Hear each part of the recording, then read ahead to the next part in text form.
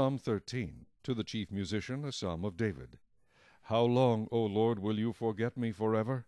How long will you hide your face from me? How long shall I take counsel in my soul, having sorrow in my heart daily? How long will my enemy be exalted over me? Consider and hear me, O Lord my God. Enlighten my eyes, lest I sleep the sleep of death, lest my enemy say, I have prevailed against him, lest those who trouble me rejoice when I am moved. But I have trusted in your mercy. My heart shall rejoice in your salvation. I will sing to the Lord because he has dealt bountifully with me. Psalm 14.